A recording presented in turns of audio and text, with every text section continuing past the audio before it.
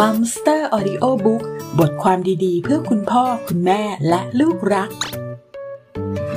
4 คำถามจากพ่อแม่เมื่อลูกไปโรงเรียนครั้งแรก สำหรับเด็กเล็กแล้วนะคะ การเริ่มต้นใหม่ไม่ใช่เรื่องง่ายเลย และสิ่งหนึ่งที่ถือว่าเป็นความท้าทายของเด็กๆเลยก็คือการไปโรงเรียนค่ะ เพราะว่าเป็นการเปลี่ยนแปลงครั้งใหญ่ในชีวิตเลยก็ว่าได้นะคะ เรามาเตรียมตัว เตรียมความพร้อมให้ลูกก่อนไปโรงเรียนกันดีกว่าค่ะคำถามข้อที่1นนะคะ การเตรียมความพร้อมก่อนเข้าโรงเรียนมีความจำเป็นแค่ไหน ถ้าเราอยากให้ทุกอย่างราบรื่นมากที่สุด ก็ควรมีระยะเวลาเตรียมความพร้อมของเด็กๆ ก่อนเข้าเรียนด้วยนะคะ โดยเฉพาะสำหรับเด็กที่ไม่เคยไปโรงเรียนเตรียมอนุบาล หรือไม่เคยเข้าศูนย์เด็กเล็กมาก่อน สิ่งนี้ถือว่าเป็นการเปลี่ยนแปลงครั้งใหญ่ในชีวิตเลย เพราะเขาต้องไปเจอการเปลี่ยนแปลงทั้งที่อยู่ ผู้ดูแล สภาพแวดล้อมและการใช้ชีวิต เด็กที่ปรับตัวง่ายก็อาจจะไม่ค่อยมีปัญหาเท่าไหร่นะคะ แต่เด็กที่ปรับตัวยากอยู่แล้ว การไม่ได้เตรียมความพร้อมทำให้เขาต้องไปเผชิญทุกอย่างที่โรงเรียนด้วยตัวเอง อาจจะทำให้เขาเกิดความเครียด ซึ่งจะส่งผลหลายอย่างตามมาได้นะคะ เช่นเขาจะเป็นเด็กหงุดหงิดง่าย หรือติดคุณพ่อคุณแม่มากขึ้น หรือมีพฤติกรรมถดถอย เรียกร้องความสนใจเป็นต้นค่ะและเพื่อเป็นการป้องกันหรือลดปัญหาที่จะเกิดขึ้นจากการปรับตัวเข้าโรงเรียนนะคะ มีทักษะที่จะแนะนำคุณพ่อคุณแม่ดังนี้ค่ะ ทักษะที่ต้องใช้เวลาเตรียมตัว นอกเหนือจากพัฒนาการที่สมวัยแล้วนะคะ ทักษะต่างๆ ที่กล่าวถึงนี้เด็กควรได้รับการฝึกฝนควบคู่กันไปด้วย ซึ่งมักจะต้องใช้เวลาในการเตรียมตัว ส่วนระยะเวลาที่จะใช้ก็ขึ้นอยู่กับหลายปัจจัยนะคะ เช่น ระดับพัฒนาการของเด็ก ความสม่ำเสมอในการฝึก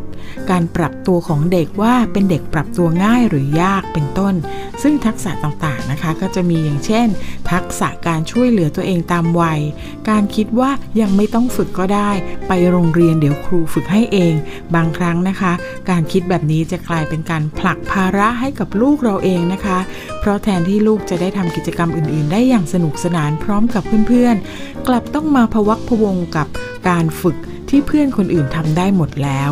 นอกจากนี้นะคะ เด็กที่ได้รับการฝึกช่วยเหลือตัวเองไปอย่างดีแล้วจากที่บ้าน จะมีส่วนที่ทำให้เด็กเขามีความมั่นใจในตัวเองมากขึ้น พร้อมที่จะเรียนรู้และสำรวจสิ่งใหม่ ๆ ปรับตัวได้ง่ายขึ้น เพราะบางสิ่งนะคะต้องทำที่โรงเรียนก็เหมือนที่เคยทำมาแล้วจากที่บ้าน ไม่ใช่ทุกอย่างใหม่ไปหมดสำหรับเด็กนะคะ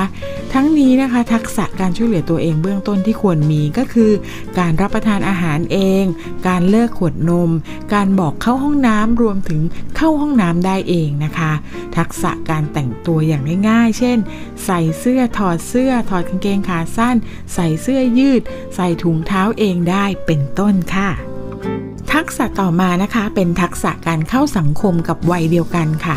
การเข้าสังคมกับวัยเดียวกัน จะแตกต่างจากการที่เด็กเล่นกับผู้ใหญ่นะคะ เพราะการเล่นกับคนที่อายุมากกว่า ผู้ใหญ่หรือเด็กโตจะมีแนวโน้มที่จะยอมทำตามเด็กทำให้เด็กเป็นศูนย์กลางของการเล่นได้ และรู้สึกว่าทุกคนต้องทำตามที่เขาต้องการ แต่การเล่นกับคนวัยใกล้กันนะคะ ส่วนใหญ่เด็กๆก็จะไม่ค่อยยอมกันนะคะเพราะบางอย่างก็ยังไม่เข้าใจกัน หรือว่ามีเรื่องผิดใจกันได้ง่ายกว่า ดังนั้นนะคะถ้าเป็นไปได้ก่อนที่เขาจะเข้าโรงเรียน เด็กๆควรได้มีโอกาสเล่นกับเด็กคนอื่นเป็นประจำนะคะ เช่นไปที่สนามเด็กเล่น ไปพบญาติญาติที่อายุใกล้เคียงกัน เพื่อที่คุณพ่อคุณแม่หรือผู้ปกครองจะได้สังเกตการเข้ากลุ่มของเด็ก และค่อยๆ สอนทักษะการเข้าสังคมที่ดีให้ลูกได้นะคะ เช่นต้องรู้จักการรอคอย รู้จักการแบ่งปัน แล้วก็รู้จักรับฟังผู้อื่นค่ะ กษะข้อต่อมานะคะ เป็นทักษะเพื่อเตรียมความพร้อมสำหรับการเรียนค่ะ ทักษะพื้นฐานที่เด็กควรมีก็เช่นทำกิจกรรมที่เหมาะกับวัยได้ด้วยตัวเองนะคะทำตามกฎระเบียบเล็กๆ น้อยๆ ได้ทำตามคำสั่งของผู้ใหญ่ได้ดี สามารถควบคุมอารมณ์ตนเองได้ตามวัยนะคะ มีความมั่นใจชอบสำรวจและเรียนรู้สิ่งใหม่ ๆ ด้วยตัวเอง หรือทำภายใต้คำแนะนำเล็กๆ น้อยๆ จากผู้ใหญ่ค่ะ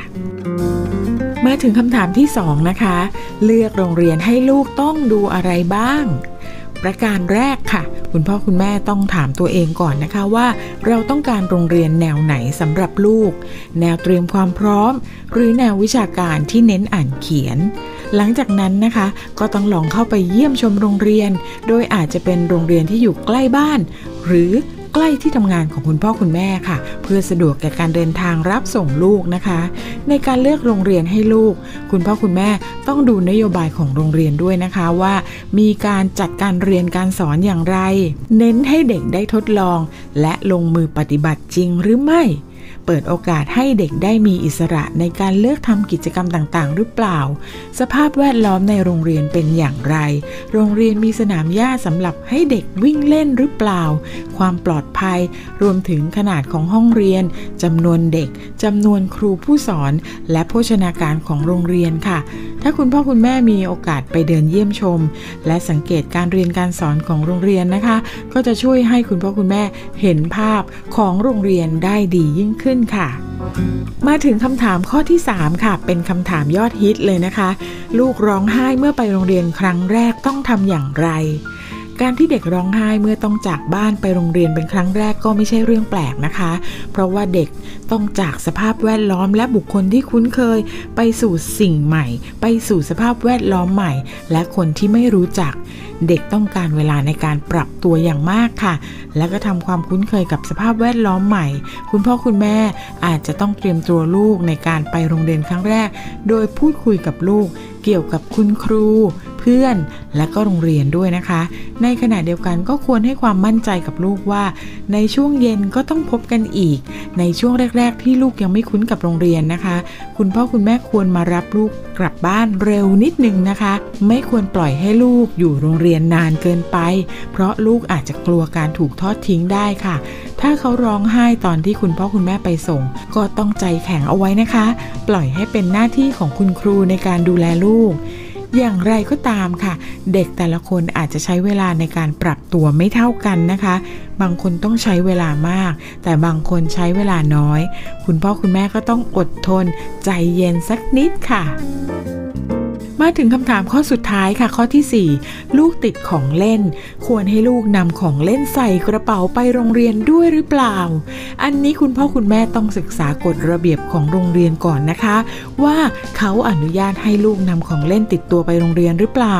ถ้าเขาไม่อนุญาตนะคะ คุณพ่อคุณแม่ควรจะต้องอธิบายให้ลูกเข้าใจแล้วล่ะค่ะ แต่ถ้าโรงเรียนอนุญาต คุณพ่อคุณแม่ควรต้องพูดคุยกับลูกนะคะ ว่าถ้าลูกนำของเล่นไปเล่นที่โรงเรียน ลูกต้องแบ่งให้เพื่อนเล่นด้วยนะ ในขณะเดียวกันของเล่นน่ะก็อาจจะพังหรือว่าหายได้